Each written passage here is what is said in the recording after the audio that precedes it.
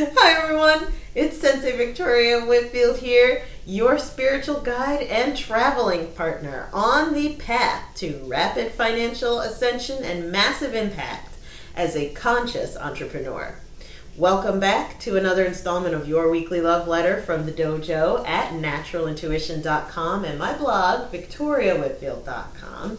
These are your sources for channeled holistic stress management techniques, guidance, inspiration and motivation to keeping your glow as you grow in life and business. Whether you are looking to improve the quality of your personal or professional life, let this love letter be your reminder that you're not alone and that together we can make that happen. Go to naturalintuition.com and click on the contact button to find out more about how we can work together. This is week two of four in our exploration of releasing faking it, right? This is your time. This is your time, finally, maybe for the first time, to release this pattern of faking it till you make it so that you can have authentic momentum, authentic growth, and authentic success, right? Whether it's in your personal or professional life. So, if you didn't see part one, hit pause, go back on my blog at victoriawhitfield.com, click on part one, and start from there so that you are grounded in this clearing process that we're going through over the next four weeks. So, the topic that my guides have asked us to cover this week in particular is the two types of people that you're going to encounter in all of life, but especially when you decide to stop faking it. Two types of people in life. Um, now, be kind to yourself. We've all been either type at any given point in time in our lives, but especially when you decide to live a life that, you know, I'm not going to fake it anymore. I'm not going to be little Miss or Mr. Perfect I'm not going to hold back. I'm going to be all in. Your type shifts. So, two types. Ready? You ready to write it down? Get your notepad. it's people who value clarity and people who value comfort. There are two types of people in life. There are those who are valuing and seeking clarity and those who are valuing and seeking comfort in all things.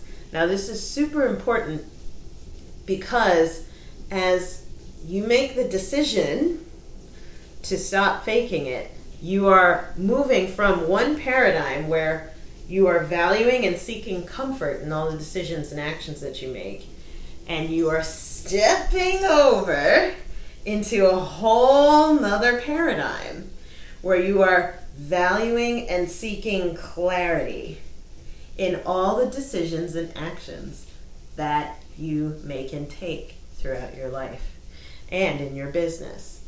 Now, this is a tall order. you know, it, last we were already talking about, oh, I'm to stop faking it. It's time. Let's go. Let's go. But now, on top of that, your orientation, your alignment shifts, right?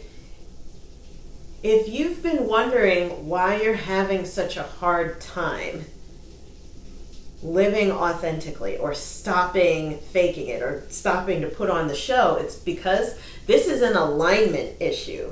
Are you aligned with comfort and seeking that? Or are you aligned with clarity and seeking that, right? If you don't know where you are aligned, look at the decisions that you already have made, right? Hindsight is 2020, as they say. So as you look back at the decisions that you made, maybe it could be a mixed bag. I'll be honest, I have a bit of a mixed bag of decisions as I look over my shoulder too, right? I'm certainly not perfect. There are some choices that are, especially when it comes to food, that sometimes I'm deciding I would like to seek comfort right now, and I'm going to pay for it by going to the gym, right? Or making sure that I'm shifting my my eating back or well there's going to be digestive issues if I'm basing my decision on comfort to eat something very, you know, fatty or full of dairy or wheat and all of that, I'm going to have consequences. I'm going to have consequences of that decision. Whereas if I make the decision, you know, continuing to put this all on me, if I make the decision to choose food that is clarifying, that gives me clarity, that when I eat it, I don't feel tired afterwards, but instead I feel energized afterwards, not because it's artificial, but because it's alive, right? And living food brings your body alive. I know it does for me, brings my body alive. So there's also going to be consequences to that. There's consequences on both sides. So, if only just for today, you've got to choose, you and I both, we have got to choose where are we aligning ourselves. Being the type of person who seeks and cultivates clarity and values uh, clarity all the time, or those who seek and cultivate and value comfort. By the way, and we're going to get a little bit more into this in the coming weeks, but as I hear the oracle cards, I hear you, I hear you. Calling in the energy. Be kind to yourself if there are people around you who really value comfort. But you you for whatever reason as a conscious person, a conscious entrepreneur, you really value clarity and you're lording over them, expecting them to be a clarity oriented person. This is suffering, right? Expecting that from people who just aren't aligned with that same value is going to cause you a lot of suffering, it's going to drain a lot of energy from you. So, this week in particular, I just want you to be a little bit more vigilant. First, of yourself, of am I being someone with this decision, this action that I'm taking, or you could even, in my case, because this is my journey right now around food, am I eating this because I'm seeking comfort or I'm seeking clarity? What am I creating with this decision? You know, for you, it might be something else with this business decision, right? Or this investment that I'm making right now. Am I going for comfort or as I'm investing right now or considering investing, is this something that's going to increase my comfort or my clarity?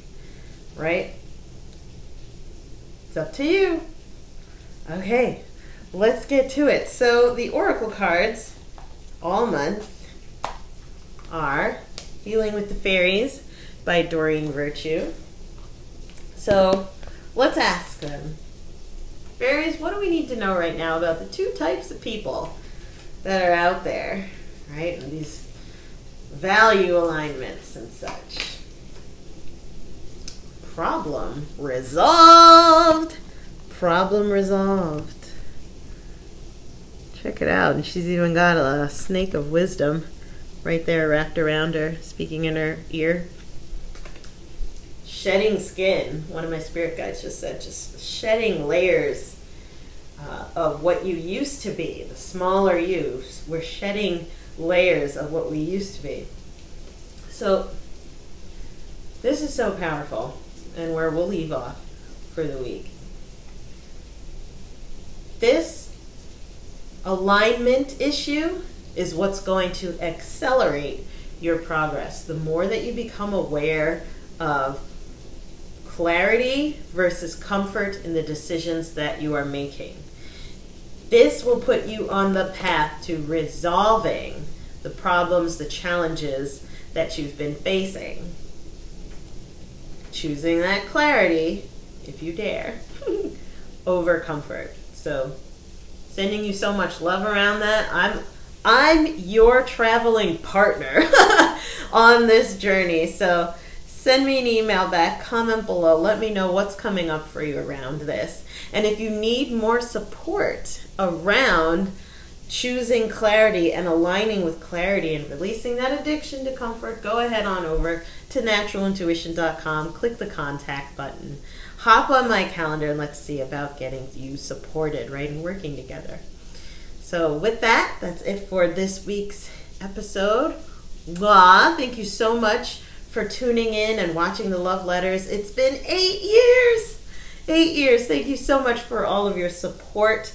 Looking forward to hearing from you soon, and I will see you in the next one.